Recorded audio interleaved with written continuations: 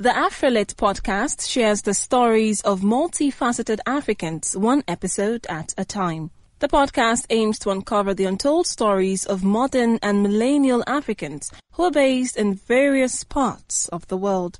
Each episode gives listeners an opportunity to learn and experience conversations that showcase who they are and their global perspectives in our ever-changing world. Be sure to listen and subscribe to the Afrolit podcast on Spotify or wherever you listen to your favorite podcast. You can also follow at Afrolit Podcast on all social media platforms.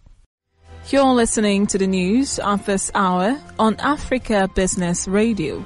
Delegates of Libya's rival administrations have met for talks in Morocco two weeks after the two sides declared a ceasefire. Five delegates each met from the UN-recognized government in Tripoli and the rival parliament based in the eastern city of Tobruk. Moroccan Foreign Minister Nasser Bourita, while opening the meeting in the town of Bouznika, said that Morocco had no specific agenda but wanted to give Libyans a chance to discuss the issues dividing them. Morocco hosted talks in 2015 that led to the creation of the UN recognized government in Tripoli.